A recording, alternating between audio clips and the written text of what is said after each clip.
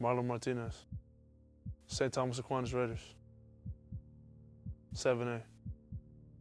Um, I'll be thinking about celebrating with the guys, making sure everybody's feeling good. We got a little chip on our shoulder because we have unfinished business to take care of.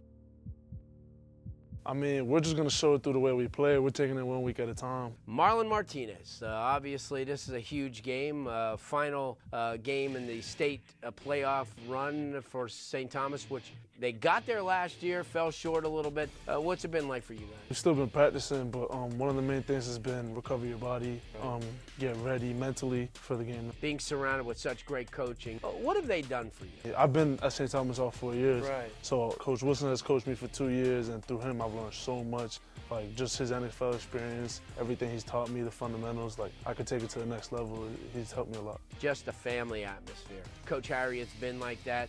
Uh, what's it like to play for Coach Harriott? Um, Coach Harriott is a fantastic man, um, man of God. Um, he constantly preaching to us how we should be. It's not about just being a better football player for him. It's about um, coaching the kids to become better men. What's it like being at St. Thomas Aquinas from, from a student athlete standpoint? As a student athlete, it's about tradition. So uh, we have no choice but to uphold that tradition, you know, keep the standard going. You take a look at this program, a win this Saturday could keep you in the running for a national title. From a standpoint of just being a senior, how great would that be? I mean, that'd be great, but at this point, we're just taking it one game right. time. And I feel like we're peaking at the right time. So, so if that happens, then it happens, but we're focused on getting the state championship.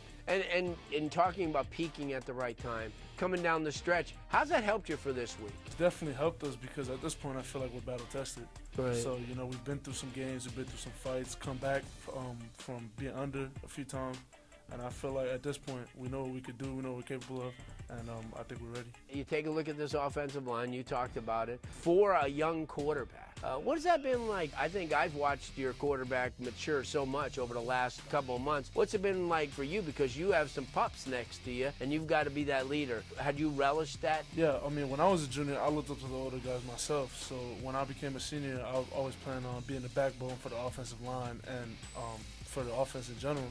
So especially for our young quarterback and the young guys next to me, um, it's important to be be that anchor so they know they have somebody to rely on, and through that we can uh, get um, Zion's confidence up, and Yeah. then our offense will just keep rolling. Listen, man, you've done a great job. Congratulations on what you guys have achieved. We're looking forward to Saturday evening, 7 o'clock. Usually, St. Thomas plays the first games, usually playing the last game of the state championship series.